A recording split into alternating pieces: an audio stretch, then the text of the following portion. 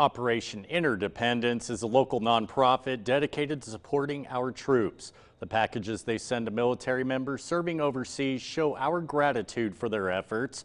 This time around, our Mark Bott found some units are more in need than usual.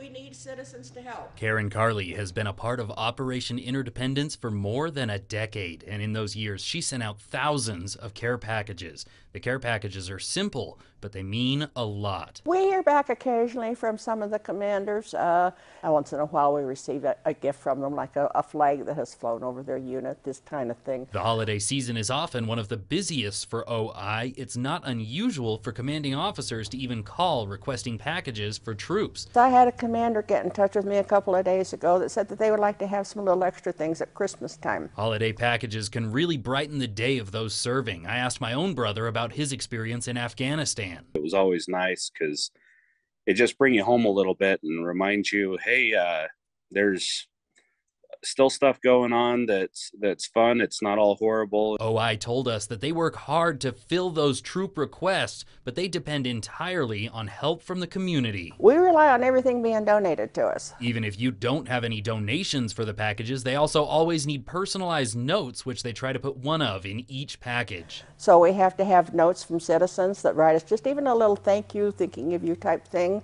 Write them a little note when you add things to the care package. If you can, donate anything as simple as candy or even stress balls, maybe even just those few words to tell the troops that you appreciate them.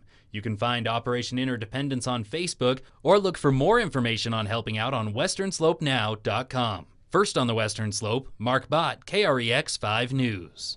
And Karen told us she just received another request this morning, so donations are needed and appreciated. And thanks to Mark Bott for the story, and of course, thank to Mark's brother Brian for his service.